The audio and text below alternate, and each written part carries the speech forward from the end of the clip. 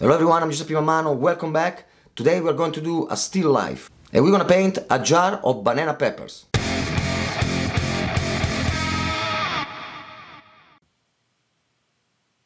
So we start this painting with my panel, is a 9 by 12 and now what I did, I divided in four part with two line my panel.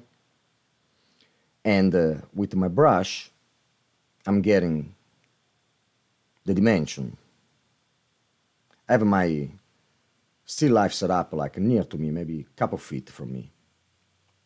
So I get the exact dimension for this jar. After they can even change a little bit, doesn't matter. Because at the end, this is a painting. And you see, they're gonna go real quick, try to get more precise than I can. Even if it's not perfect, I can change after so using my brush, I got some dimension. You can even use a tape measure, whatever, or do a smaller. I just wanted to use my brush this time. So take your time to get the right form and dimension, even if you still gotta think that you can still change it during the process of the painting.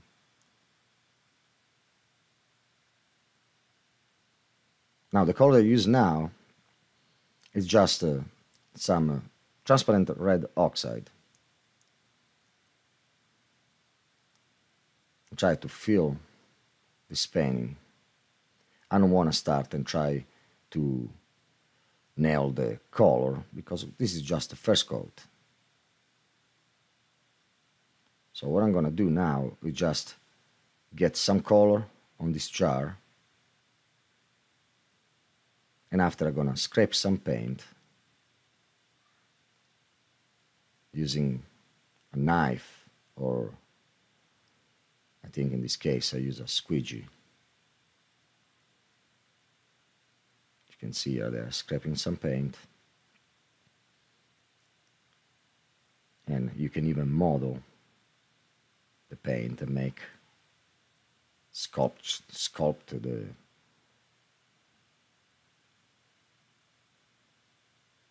peppers. Now this is almost uh, at the end of the first stage.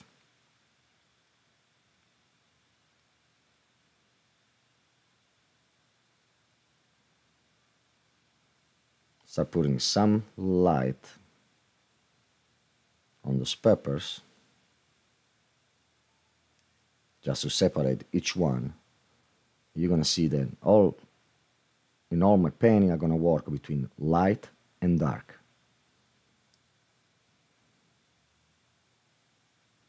Now I still keep my color darker because I can always make it lighter with my highlights.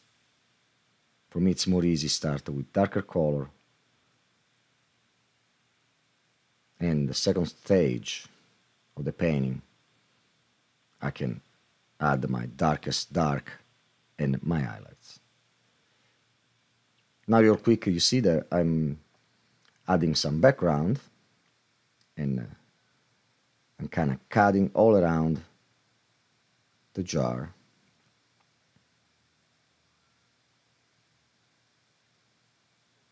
So during the first coat, I'm very loose and really don't worry much. You don't have to be perfect.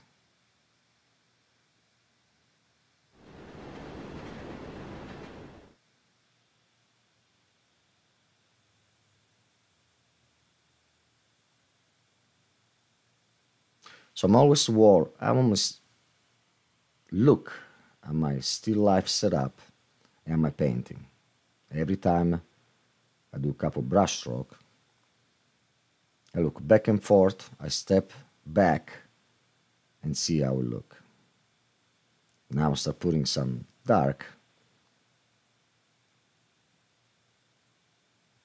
and then play in all painting, you're gonna see me play with the highlights and dark. That's what make three-dimensional.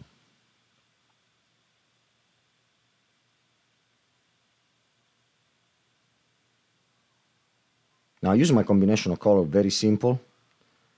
For the yellow pepper, I'm using Indian yellow, cadmium yellow, and if I want to make it darker, maybe I add some burnt umber or red oxide.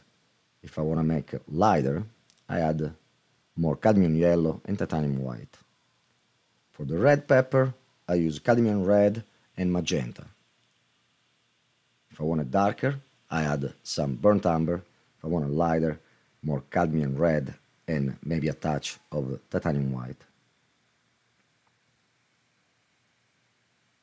Now you see the more I add color, you can see already those pepper came alive. And still continue working with my shadow and my highlights and blend them together.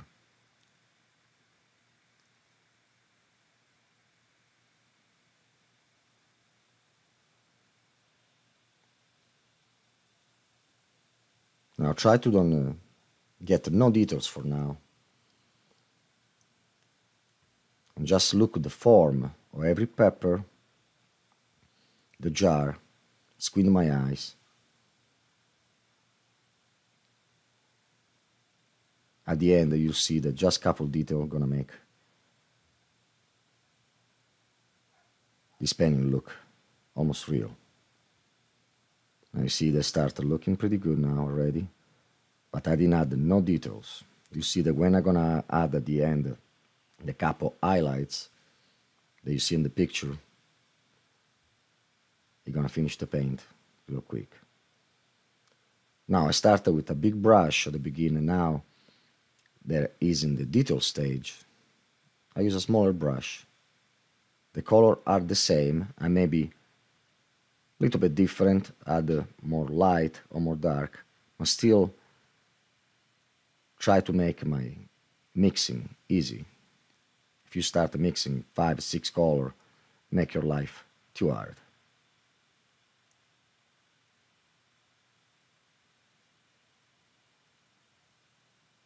Now with the background, I model the jar a little bit. That's why I was saying in the beginning, don't worry you can always fix it. And I start working with the cap. You see that I'm going very dark, not very dark, but darker than the color that you see there on my still life setup. And after I will put some highlights on top and darks.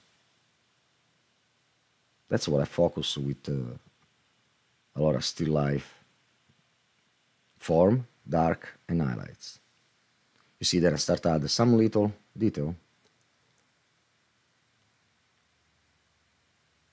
And the jar look pretty good, but still missing a lot of detail. Now with the detail, it will change and make it three-dimensional and realistic.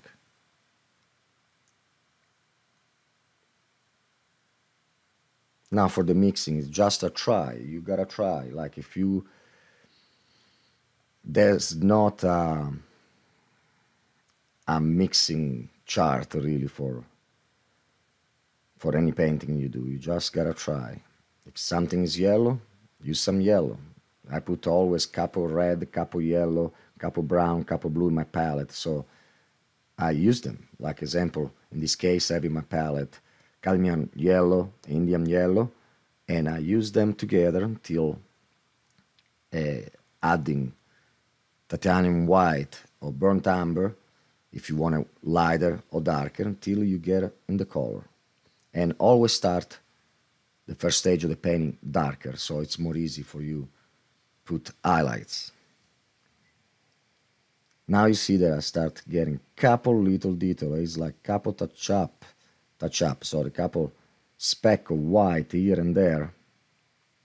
And you can see here the painting done and look pretty good very happy with this. Alright guys we're done for today. I have a lot of fun. I hope you guys too. Please remember to subscribe my channel and check out my website at G Mammano Art. I will see you very soon. Ciao